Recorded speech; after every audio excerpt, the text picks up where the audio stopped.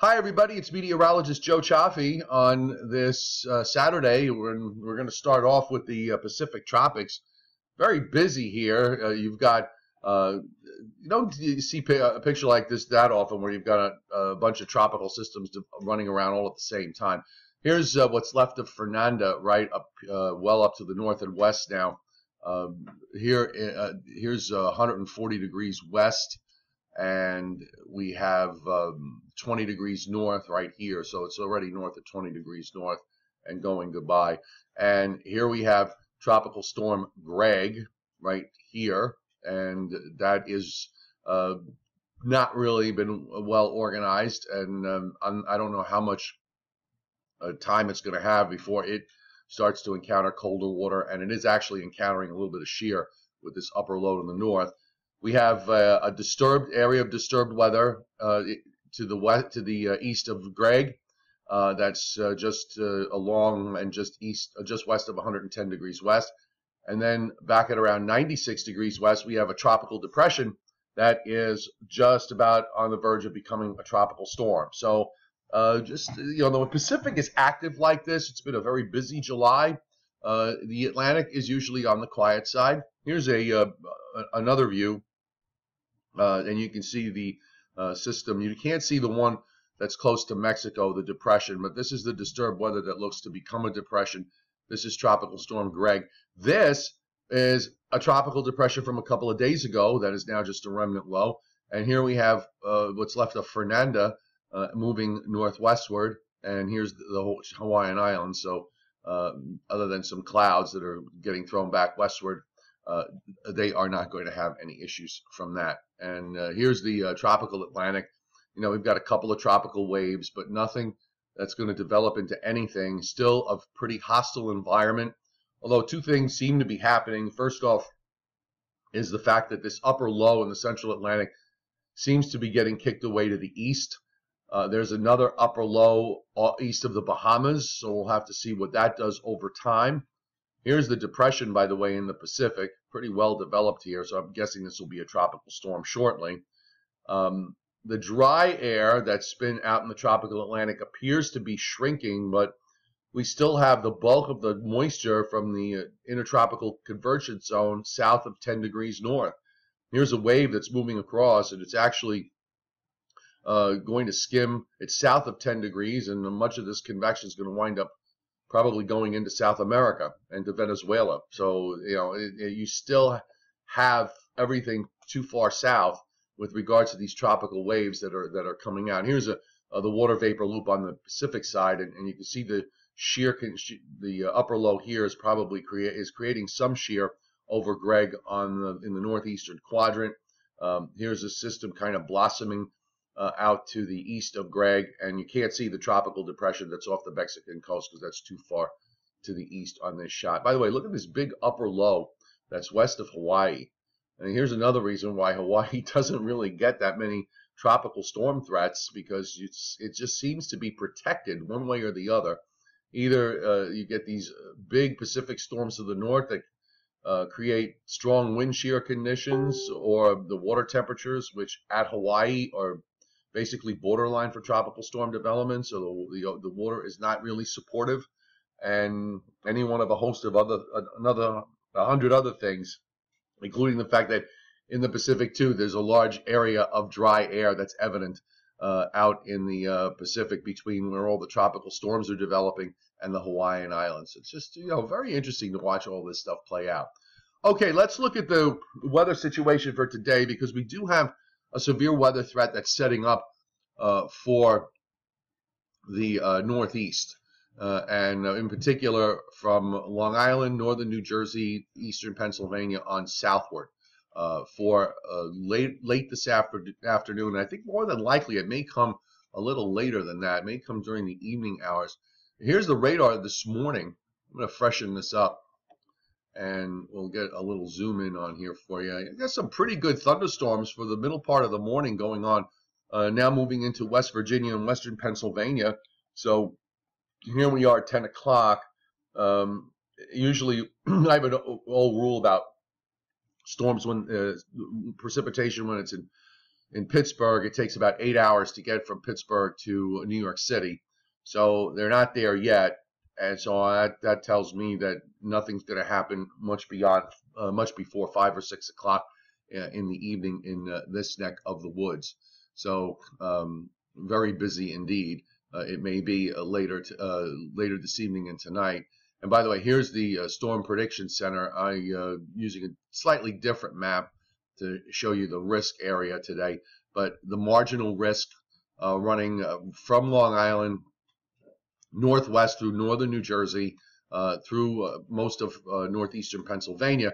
And then you have this large area of slight risk running from eastern Indiana, virtually the entire state of Ohio, West Virginia, uh, most of Pennsylvania, most all of central and south Jersey, Delaware, Maryland, into Virginia, down to about uh, just south of Richmond over to about Norfolk. So, you know, it's a fairly large area of uh, severe weather that's anticipated.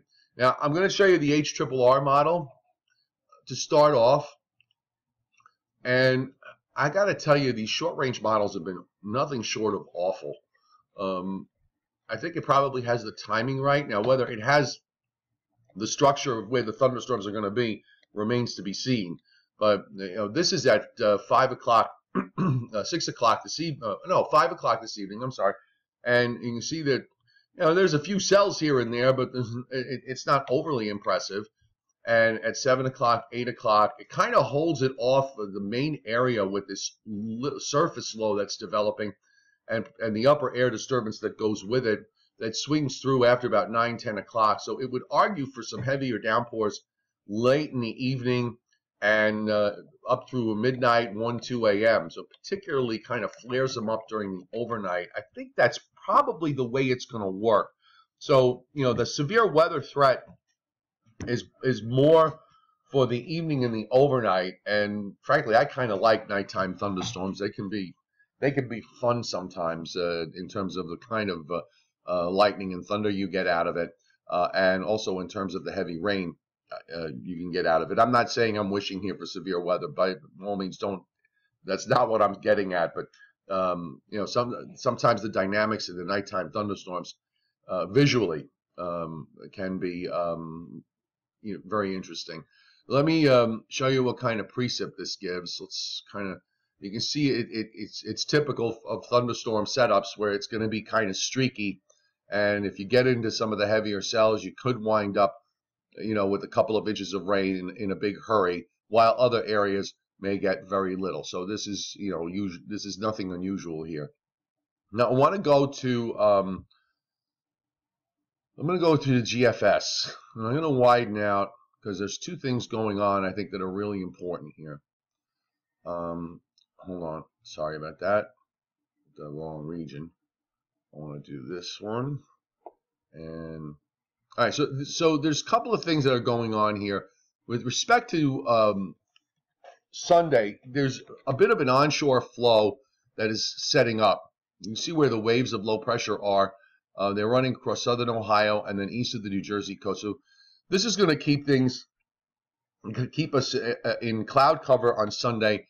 And I don't think there'll be much in the way of showers during the day, but there'll be maybe another round of uh, rain and thunderstorms Sunday night into Monday morning. So the day side Sunday looks okay. Then as that low pulls away, we're just going to have to wait for a cold front to come through. I think after today, uh, the 90 degree temperatures may be done. And the other thing is, there's some decent relief coming in terms of the heat and humidity that we've experienced the last few days for Tuesday and Wednesday as a high builds up to the north. And you can see it here. So we're looking like, well, the weather could be um, nice and decent here for a couple of days.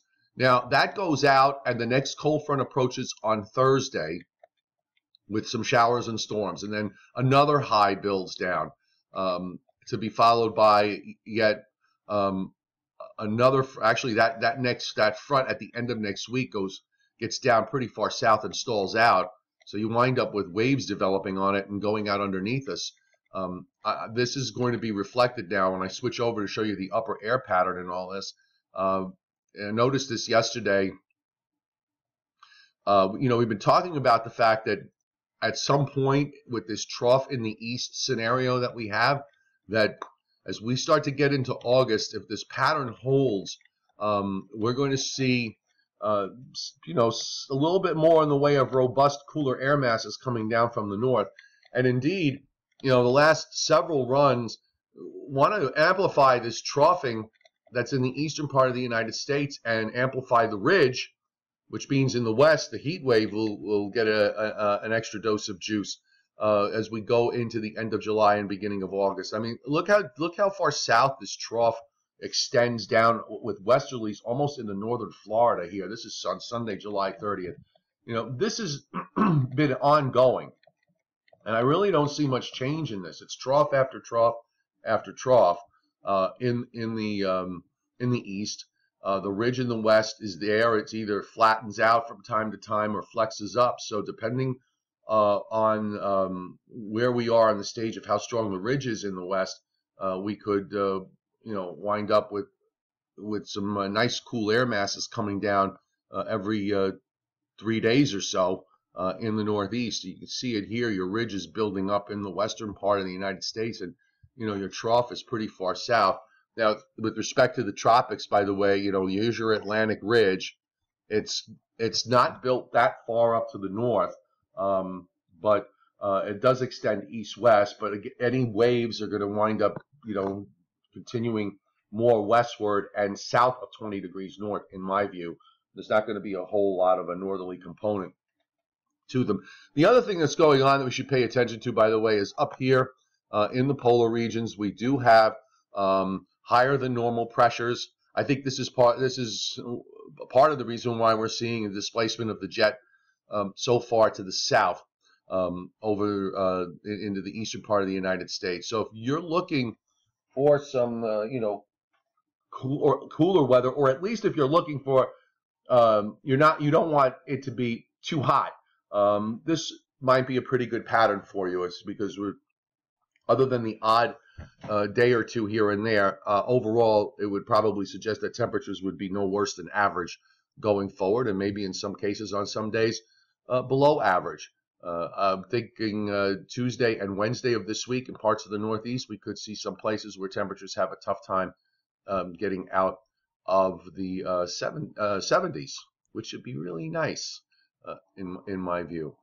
I don't see the models aren't really producing anything in terms of tropical systems in the Atlantic side. So, um, you know, going into end of July, early August, it still remains pretty quiet.